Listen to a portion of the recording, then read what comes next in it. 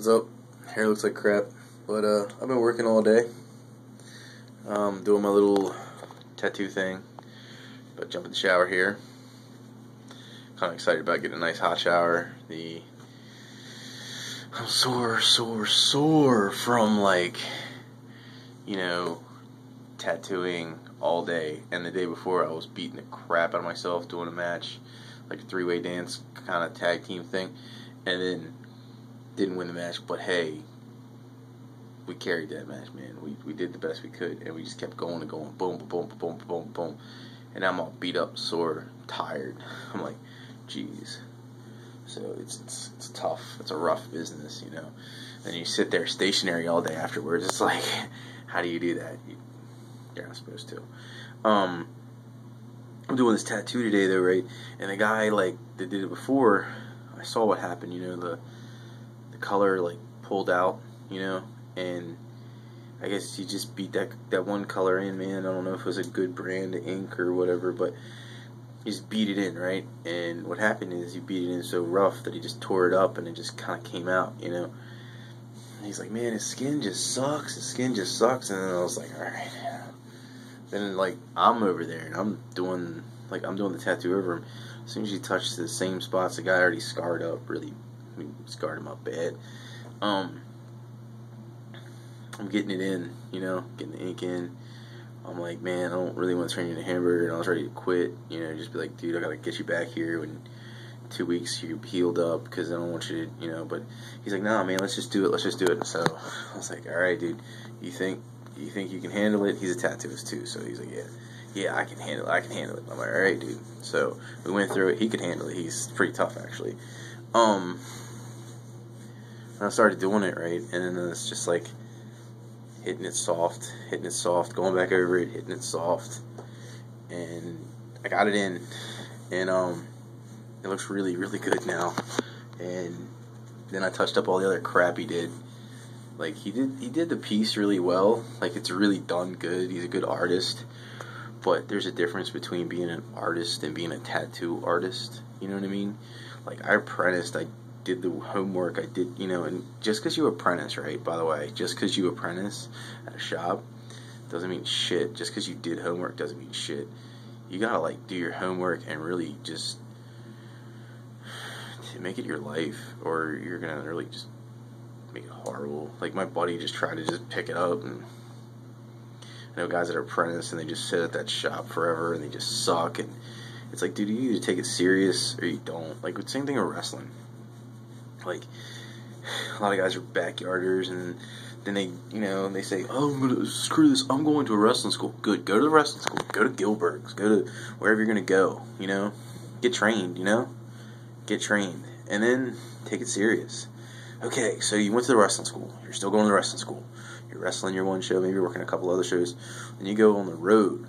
You're not getting booked why aren't you getting booked you're not apprenticing under guys like me who are like, hey, pitch in for gas money, listen to me talk about wrestling the whole time on the ride, and then learn something. Go to Axel. Go to there's there's name if you got names in your area, go to that guy. Go to go to somebody, somebody that'll teach you something. Don't go to bullies. You know, don't go to guys that are just going to use you and take all your money and you know. I mean, yeah, if they say, hey, I've been in the business for like I've been in the business for ten years, but you know, I've been in the business, I made something out of myself, whatever. Like, if you want what they got, listen to them, you know, and respect them. Don't step on their toes. Like, I trained guys to wrestle before, and the first thing they do when they learn how to wrestle, they just drop it and they go. It's like, no, no, no, no. Then you go on the road, and you learn how to make money. Then you, there's so much more you gotta learn, you know? Like, if you think I'm wrestling for free, I'm not. You know, and I'm like just good at what I do. I'm not like a big name star or anything.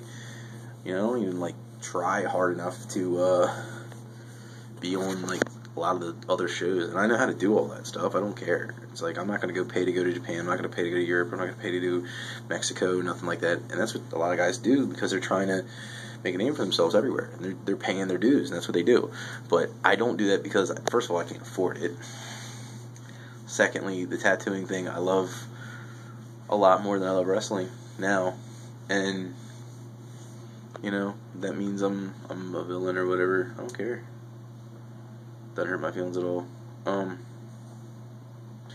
although do, I do love wrestling. It was my first love, so you know, never gonna get over it. Probably never gonna be out of it. You know, and just I just want people to take it serious. I don't want people to take this tattooing thing serious and like not, not just go out there and not do their homework and not and, and not continually learn the art you know of both those things you know? If you're in either of those businesses you just keep learning man. Just if you're in any sort of art form or entertainment or anything if you're in football and you're trying to make it somewhere if you're on a team okay you got let's say you get signed to the NFL right? Let's say you get signed to the Ravens please God. Give me signed to the Ravens. Be wonderful yeah no no the Ravens, right? You're sitting there, you want to be top of the team, you know? And if you're like, oh, Ray Lewis, he'll respect him. But remember, he wants you to try to be top of the team. He wants you to challenge him for his position as head, you know? Not in a disrespectful way. It's all about doing a good job and making plays and being the man, you know? And like, just go out there and put your heart into what you do. Because I found out that for my for me, the meaning of life is what you mean for your life. You know what I mean? Like if you mean I was talking to the promoter's wife and I was like, you know what? I just I was looking up the sky, I was like, the meaning of life is what you mean for your life. I was like, so what's the meaning of your life? she looked at me like, okay, this is kind of I was like, seriously, what's the meaning of your life? She goes, I plan to be the best mom I can be. And I was like, congratulations. You're a kick ass mom. She is. So the meaning of life is what you mean for your life. You don't need to try to be the best at everything, just whatever you want to be the best at. You know what I mean? And uh, that's pretty much it for this YouTube video. Um, like and subscribe. Thank you very much.